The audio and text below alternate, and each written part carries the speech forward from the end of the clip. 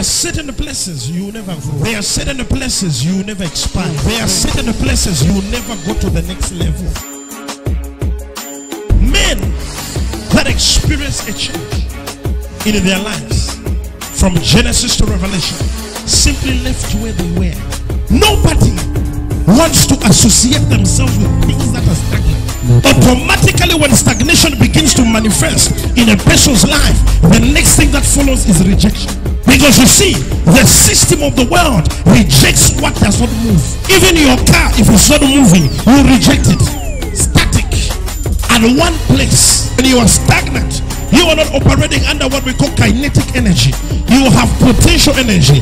That means you have the ability to become something. You are able to become what you want to become.